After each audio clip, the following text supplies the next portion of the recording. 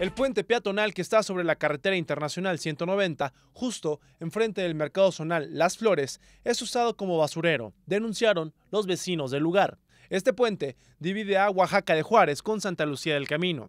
Durante mucho tiempo ha sido utilizado para tirar basura. El corredor del puente huele mal y las autoridades correspondientes no hacen nada, dijeron los pocos oaxaqueños que lo usan todos los días.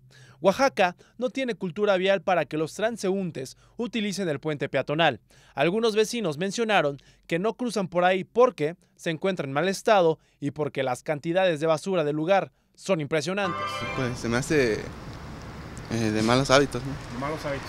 Sí, pues eh, la gente irresponsable que no piensa en los demás.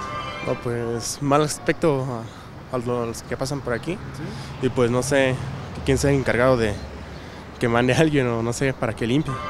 Es que por lo mismo que no tienen la educación de depositar y reciclar bien la basura. En la última semana de enero, una persona de la tercera edad murió al ser atropellada por un vehículo que transitaba por esa vía rápida. Urge que las autoridades correspondientes limpien el puente y hagan campañas para que las mismas personas utilicen los puentes peatonales. Con imágenes de Juan Carlos Chiñas para MVM Televisión informó Joshua Ramos.